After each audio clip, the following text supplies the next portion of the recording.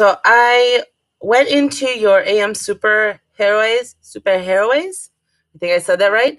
Uh, grid that you invited me to. Um, and you can notice here that I already changed the flip code for this class. So if you go into this edit button in your grid, so this is the full grid for this course.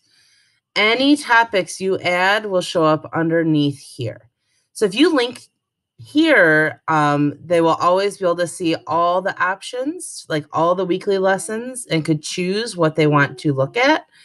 Um, but if you go up to the top and choose edit, right here's where I went. It says flip code.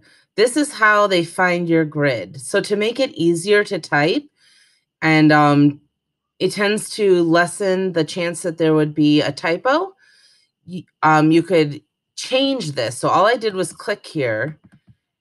And when I deleted it, um, you can change this code if you want it to be anything else.